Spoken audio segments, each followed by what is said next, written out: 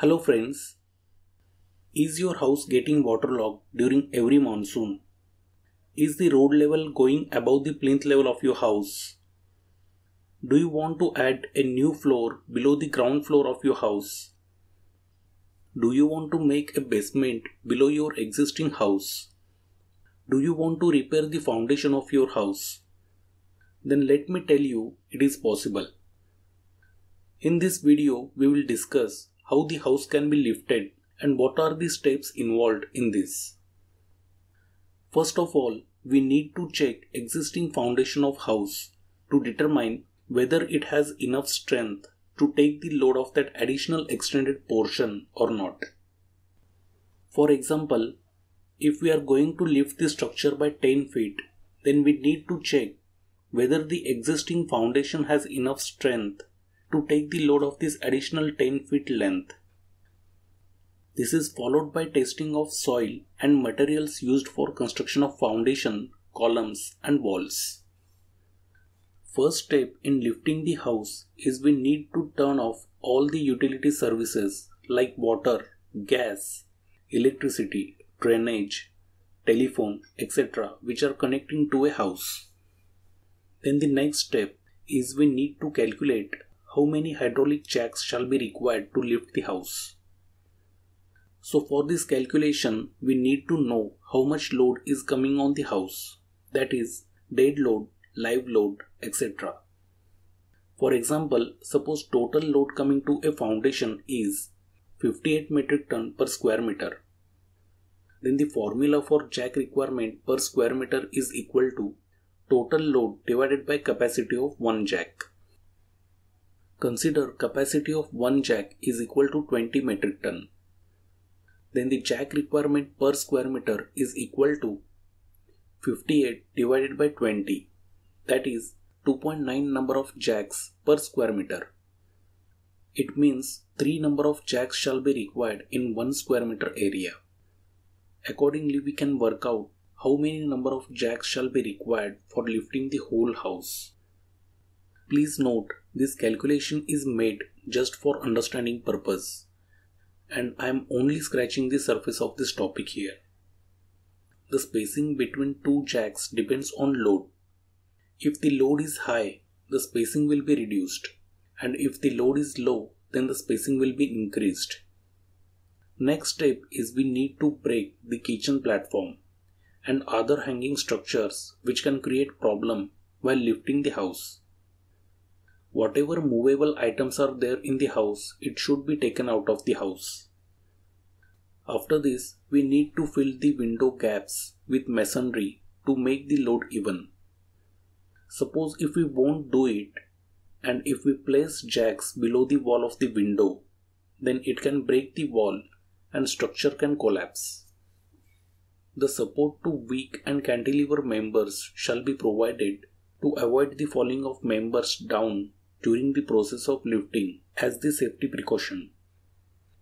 Temporary walls shall be constructed below the hanging structures which doesn't have any wall support.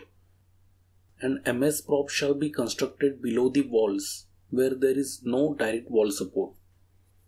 For even lifting, marking will be done on each wall with the help of water level pipes.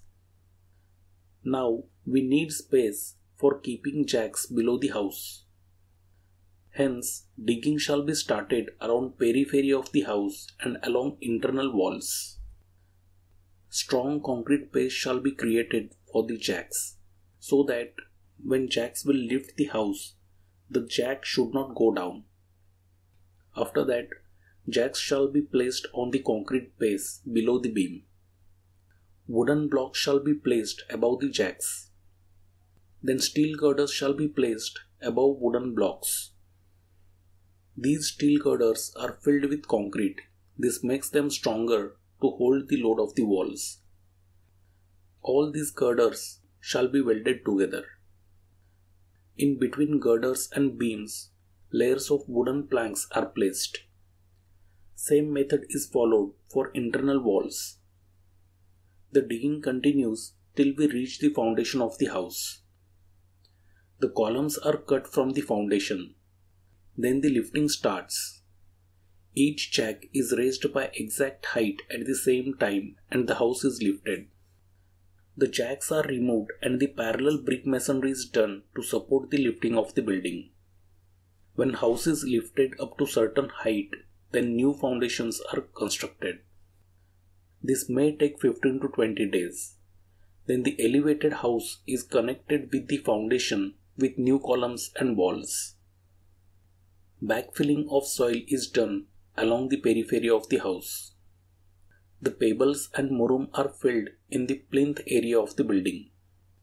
The flooring is done after the compacted soil filling and then supply connections are connected. After this, wherever temporary walls were constructed shall be removed from the windows.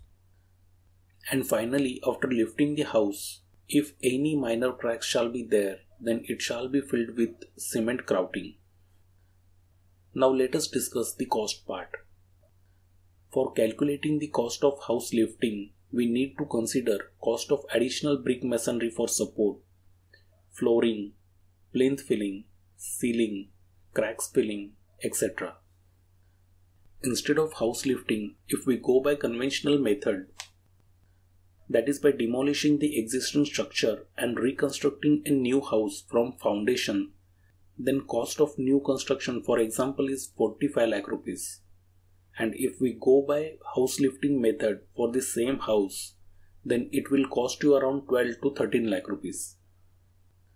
We can say the rough expenses for lifting would be 25% of total construction cost of the building if we talk about the rate for lifting the house then it shall range from 250 rupees per square feet to 350 rupees per square feet depending on age of building, number of floors, type of construction, how much height you want to lift, etc. This also leads to saving in time. A new construction can take up to 4 to 5 months, whereas house lifting can be done in 2 months depending on above mentioned factors. So friends, see you in the next video. Thanks for watching.